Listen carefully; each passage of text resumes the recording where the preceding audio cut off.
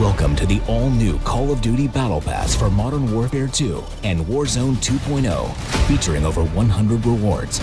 Your mission has expanded to a full combat map, allowing you far more tactical choice. Strategize your path, targeting the rewards you want, sector by sector, on your way to total domination. Using the Battle Pass is simple. Play the game to earn battle token tier skips. Redeem battle token tier skips to unlock rewards. Each combat sector contains 5 rewards. Complete the sector by unlocking all rewards, including the high-value target. Completing sectors will open new ones, allowing you to choose your path through the map based on the rewards you want. Once all sectors are complete, you'll earn valuable bonus rewards for total victory. The map includes 20 free items, including new functional weapons and Call of Duty points.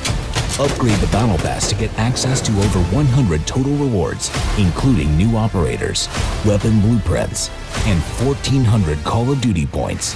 And this is just the beginning. Each season will bring new maps, new rewards, and new surprises. With the all-new Call of Duty Battle Pass, victory is now in your hands.